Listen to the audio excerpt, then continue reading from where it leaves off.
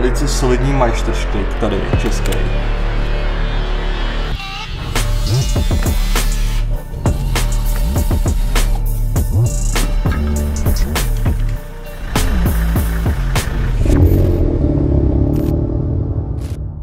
Čau párci, já vás vítám u nového videa a konečně se teda pustíme do té kaše.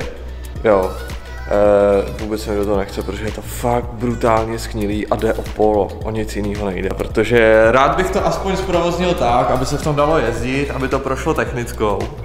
A, no a postupně to tak nějak si to dolaďovat, sice tohle teda, aby to prošlo technickou, tak to je sakra velký uh, cíl, protože ty díry jsou opravdu skutečně velký.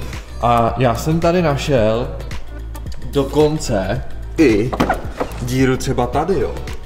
O tom jsem vůbec nevěděl, takže eh, je to opravdu, opravdu hezký.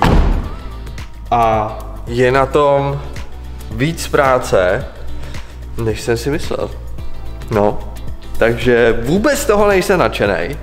Já myslel, že s tím budu lítat, že jo. No ale lítat s tím asi úplně nebudu, jo.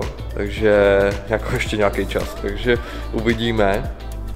Přemýšlím furt, jaký kola na to teda přijdou. Já tady mám placu ty Zendry, který už tady mám hrozně moc dlouho. Ještě jsem je tam ani neskoušel, já jsem to chtěl vyzkoušet, nedostal jsem se vůbec k tomu, protože jsem tady dlouho nebyl. E, takže tady to takhle leží a chtěl bych je teda nechat udělat. Oni vypadají jako dvoudílný, ale dvoudílný nejsou. Ale, co mě ještě napadlo, tak oni by šli jakoby odsoustružit tohle a udělat z toho opravdu dvoudílný. Jo. Nebo třídílný by bylo ještě lepší. To by bylo úplně nejlepší. Protože bych to mohl udělat na 16, protože tohle to jsou 15, tak aspoň 16 aby to byly. A to by bylo, hele, mm, nádhera. Takže uvidíme, no, ale možná to nechám 15, ono to aspoň víc lehne. No, hele, nechci předbíhat, jo. Teď je důležitý dát tu kastli hlavně dohromady a pak se budou dít věci, no. Možná. Ještě jsem vám teda chtěl říct, pokud nemáte odběr, protože když jsem koukal do statistik teďko po dlouhé době taky, tak eh, vlastně 60% lidí, kteří mě sledujou, tak nemají odběr. Takže vy jste blázni normálně. Takže tam dejte odběr, prosím. Samozřejmě Instagram, tadyhle ty strandy. My se pustíme do práce tady na tu příšeru. A ještě samozřejmě, tady je Boris, který se tady vyhřívá, že jo. Hm. Takže párci máme o nějakou dobu později, já nevím, asi takovou měsíc a půl určitě. Já se můžu teda pustit do čištění interiéru, co jsem eh, vlastně koupil, eh, tenkrát v Praze na Vrakáči z Harlekína. Eh, je to docela obtížný tohle to sehnat, ale povedlo se mi to, ale je to teda v katastrofálním stavu, jako sami to uvidíte. A já ani nevím, co jsme dělali vlastně na. Já si myslím, že jsme to jako rozebírali. Ještě s Honzou. A uh, takže tam bylo nějaký odstrojení tohle, ale tohle to bych chtěl mít připravený, ono to aspoň vyskne.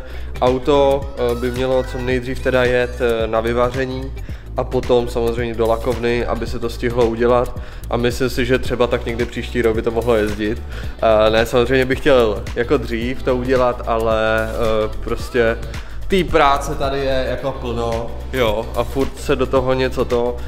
A ten Harlequin není takovou prioritou, myslím si, že uh, není jako důležitý nebo není nezbytný tady na tom pospíchat, spíš si to jako užít a dělat to, kdy člověk na to má jako náladu. Takže o tom by to mělo být, abyste si to užili, to stavění těch aut a ne jako chvátali, abyste stihli tohle, tohle, tamhle to, nějaký straty, tohle. Z toho už jsem vyrost. Uh, vlastně ani nikdy jsem to tak ne, neměl jako, když teda pominu stavbu dvojky a Word, tak uh, nikdy jsem nikam nechvátal a bylo to víc mě to vždycky bavilo, takže já si to chci užít, tu stavbu a pustíme se teda do interiéru, který je neskutečně jako špinavý. Já jsem teda tu původní řidičovu uh, jsem nechal v autě. Uh, tady máme zadky vlastně, jo. A tohle je z toho vrakáče. Uh, takový ty zachlopacený díly a být špinavý, ty jsou z toho vrakáče ale použitelný to je, potom já z toho vyberu ty nejlepší a z toho zbytku třeba udělám nějaký poštáře nebo něco takového, nějaký doplňky třeba do toho auta. A tadyhle z toho použiju vlastně tu látku nějak, jo, a tak, ale je to, hele, jak kdyby v tom jezdil Yeti, jo, těch chlupů tady a těch skvrn všude, To je šílený. Tohle to tam budete mít vlastně třeba po psovi, jo. A když máte nějakýho chlupáče, tak eh, tohle je teda fakt šílený a myslím si, že tady vyzkoušíme tady produkty od Kerchru úplně výtečně. Máme tady samozřejmě pucinu 10 lomeno jedničku a vysavač uh, Intel 30 lomeno 1. Takže se zvědavý, já snad na to nebudu muset šahat jako nějakým kartáčem nebo něco, jo, protože zase, uh, když budete čistit ten interiér, takhle zaneřáděný, tak tomu jsou různé věci, jo, který vám můžou pomoct jakoby k lepšímu jako výsledku, že se tolik u toho nenadřete. Já doufám, že to vytáhnu z toho jenom tím vysavačem, který samozřejmě má tu sílu jako velkou, ale kolikrát třeba když jsou malý chlupy, co má třeba Bonnie, uh, tak se vám to zapíchá. Tohle to si myslím, že z toho bude jako bez problému, ale ty malý chlupy, takový ty tvrdý, který se do toho zapíchají, tak na to jsou takový special třeba kartáče přímo na psí chlupy a ty vám k tomu, nebo jakoby z toho pomůžou, jo? že to jde jako daleko snadnější, nebo pak se tomu říká tornádo, to dáte vlastně na vzduch, na kompresor a foukáte to z toho ven, což je dobrý třeba na koberce, jako co jsou přímo v autě, to ještě nemám, ale chci si to koupit. A to vám s tím může jako pomoct jako víceméně z koberců a tadyhle z toho jako je to super věc. A, a tohle teda, tady je i nějaká jako plíseň, jo, už na tom. No, prostě není to vůbec hezký, jo. Samý bordel, tady už se Boris činil, tady jsou ještě pozůstatky, jo, jako, takže to tady trhala. Takže uh, myslím si, že si můžeme ukázat, jako co tadyhle ty stroje od Carrefouru dokážou. A jsem na to sám zvědavý.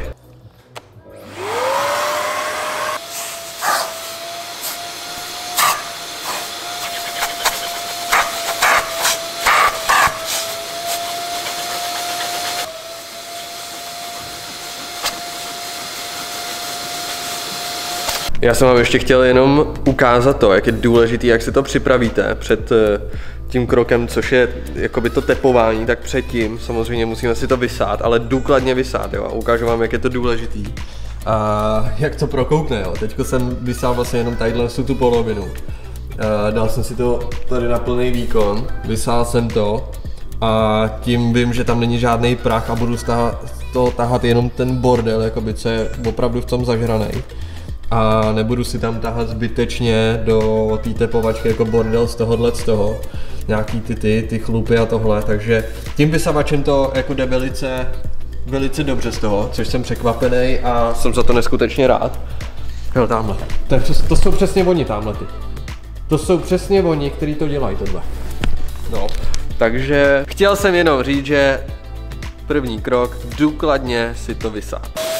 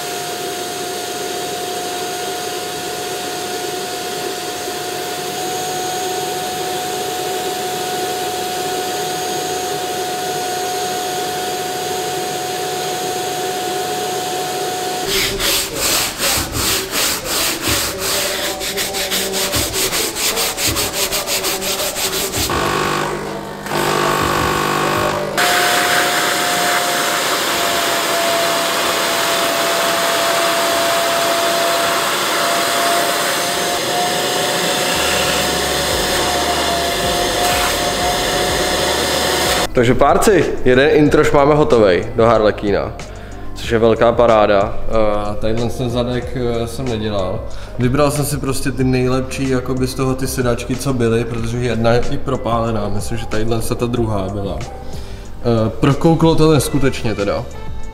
Ještě zbývá dodělat opěrky, uh, ty už jsem nedělal, ale uh, máme takhle ty zadky tady, ty jsou moc hezký, jo. Krásný kousek.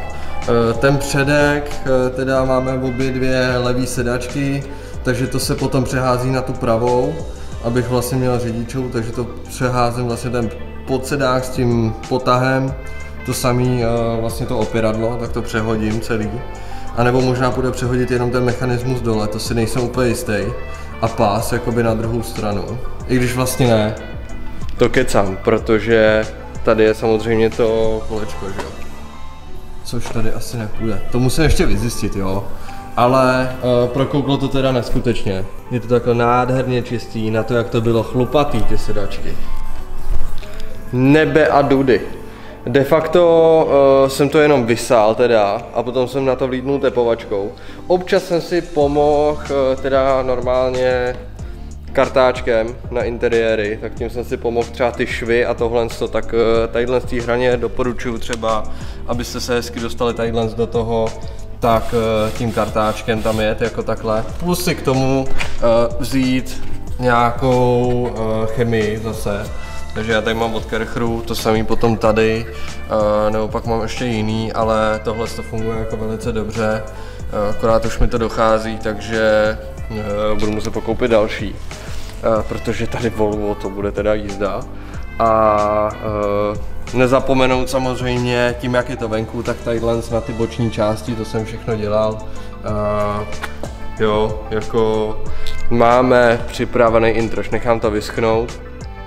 Potom to přetáhnu nějakýma igelitama, aby se na to neprášilo, že to jenom přeto, ale zase, aby to dechalo a uh, bude to připravený, bude to ready. Ještě nás potom teda čeká uh, koberec, ale ten udělám samostatně potom, uh, až se vyvaří to auto a tohle z toho, protože prostě si ho připravím, potom se tomu budeme věnovat. Jinak koberečky mám taky nádherný, to vám všechno potom ukážu v následujících dílech a pustíme se i do dalších věcí.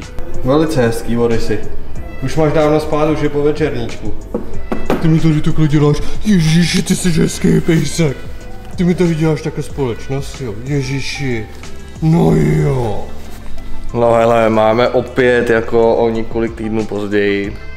Já jsem hrozný tadyhle s tím, já to vím. Uh, ale prostě teďko jsem řešil jiné věci, jiný auto, to vy se dozvíte později.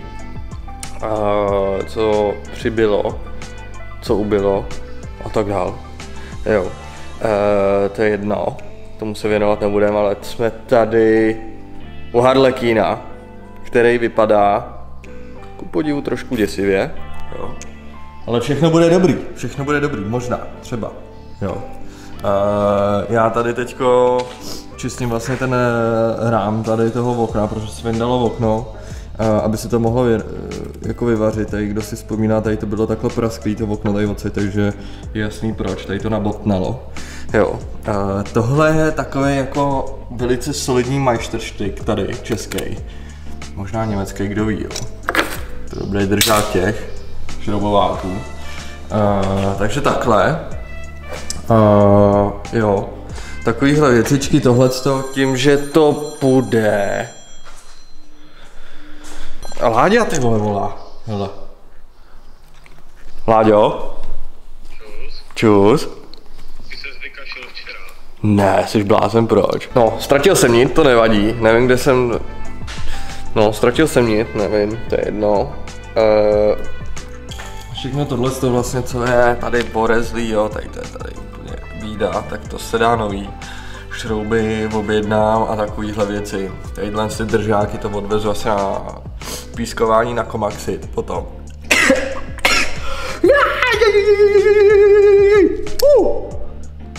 Alergie mě jednou zabije.